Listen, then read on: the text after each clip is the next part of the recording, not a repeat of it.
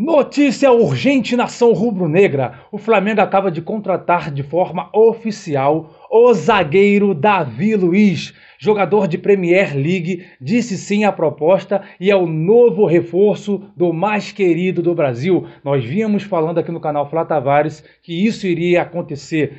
Recebemos uma chuva de críticas, descredibilidade e tá aí, ó Flamengo fecha com o zagueiro. Agora se inscreva no canal, ative o sininho para todos os vídeos e compartilhe essa boa notícia. Vamos viralizar para toda a nação rubro-negra. Eu falei que Marcos Braz estava blefando. Sorrateiramente, o Flamengo tinha sim conversas avançadas, até o modelo de contrato tinha em mesa sim. O único entrave era que o Benfica tinha entrado na parada.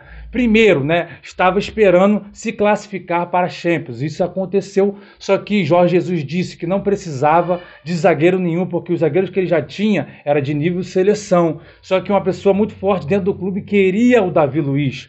E agora o Jorge Jesus apareceu de novo mudando o discurso, dizendo que agora precisa contratar um outro zagueiro para reforçar o sistema defensivo. Só que aí as negociações travaram e o Flamengo intensificou as negociações e o Flamengo fechou com o zagueiro de nível europeu, Premier League, para desespero dos anti-flamenguistas, seja eles é, torcedores comuns né, de outros clubes e jornalistas bairristas que odeia o Mengão. A verdade é, nação rubro-negra, que o Flamengo já tem um zagueiro de alto nível, que é o Rodrigo Caio.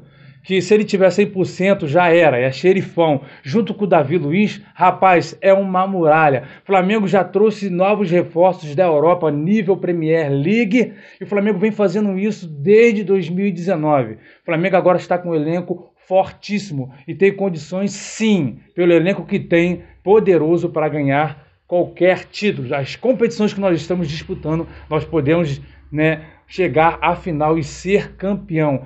Há essa possibilidade muito grande. Então peço a vocês, comemore, viralize. Vamos trazer essa notícia para toda a nação rubro-negra e se inscreva no canal Flá Tavares. Valeu, nação!